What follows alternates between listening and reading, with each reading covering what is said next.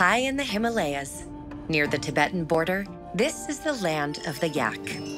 These animals are closely related to cows, although much less domesticated, and are bred for their milk, meat, and wool. But the yak is a rustic creature. In other words, it has retained many of the characteristics that would allow it to live in the wild. For the yak, this is an asset, helping it to survive in the mountains. But for the herdsman, it poses a challenge. Nearly 12,000 feet above sea level, in the Nepalese village of Manang, the anthropologist Theophile Johnson is studying the relationship between the yaks and the people who farm them. How do Nepalese herdsmen handle this timid animal, which naturally tends to drift away from the group? This is what the researchers hope to understand as they follow the farmers in their daily routine. The aim of my thesis is to observe the domestication process, the ways in which the farmers influence the animals' relationships with one another, as well as how they themselves form and maintain relationships with their herds. One of the greatest challenges for breeders is to bring all their animals back into the fold before nightfall. In the wild, yaks typically live in groups of five or six, whereas a herd can contain anything from 50 to 100 heads of livestock, which makes them more likely to disperse. To prevent this, the farmers act as puppeteers, controlling the animals until they bond.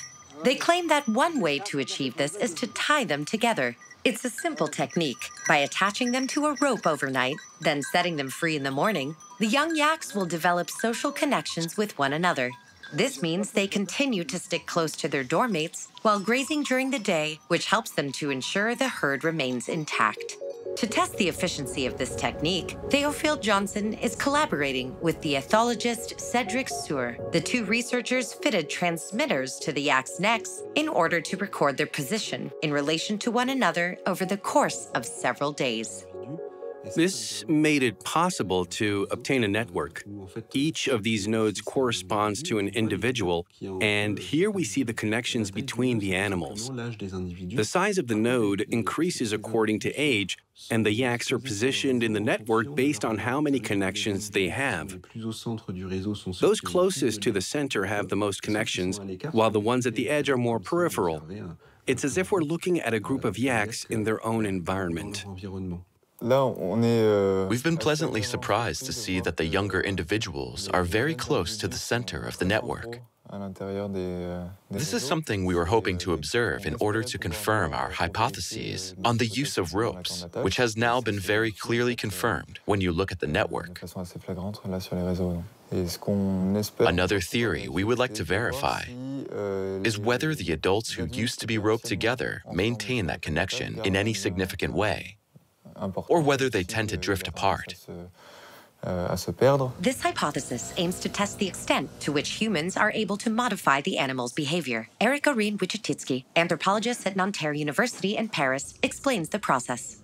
Do we as human beings have an influence on the ways in which other species interact with one another? You can study this in rural France or elsewhere in Europe, but these observations are coming from somewhere that's radically different, with very peculiar environmental conditions.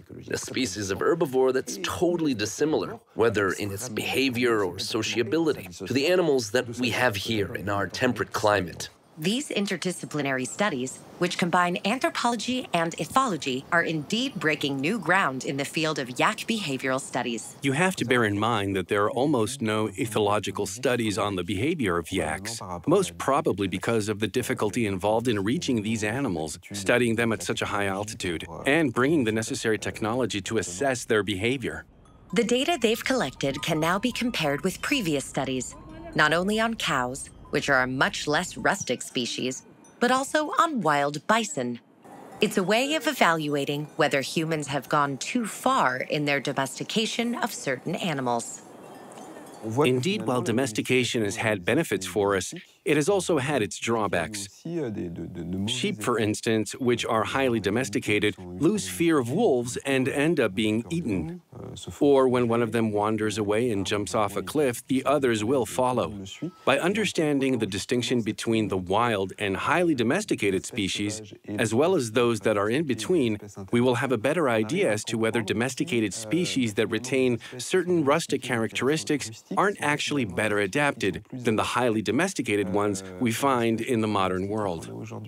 This question is all the more pressing since Nepalese farmers are faced with a new challenge the return of the snow leopard, also known as the ghost of the mountains. Over the last 20 years, this predator, feared by some and protected by others, has become an increasingly common sight in the Manang Valley. Herds are suffering increasingly heavy losses, and just like in France with its wolves and bears, the farmers are very upset about this growing threat to their livelihoods and even their survival. Here we have the remains of the body of a yak, which was killed by a snow leopard.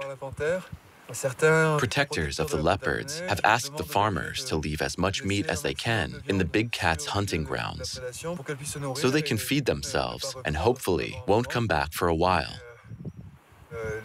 But leaving food for the leopard is very painful for the farmers, who can't help coming back to collect as much of the lost meat as possible. Poaching and the destruction of its natural habitat have made the snow leopard an endangered species. As a result, the animal is heavily protected within the Nepalese national parks. The penalty for killing a snow leopard is just as severe as it is for killing a human being. That is, 15 to 20 years in prison. In the space of four years, the researcher has observed a number of new strategies devised by farmers in an attempt to limit the damage caused by this new predator. Breeders have abandoned certain grazing areas and are even considering giving up their daytime activities so as to be able to keep a permanent watch on their herd. Will these changes help herders to survive? Will the conservationists manage to protect conflict between the snow leopard and the people of Manang? keeping a balance between humans and animals, whether they be domesticated or wild, will depend on the success of these new techniques.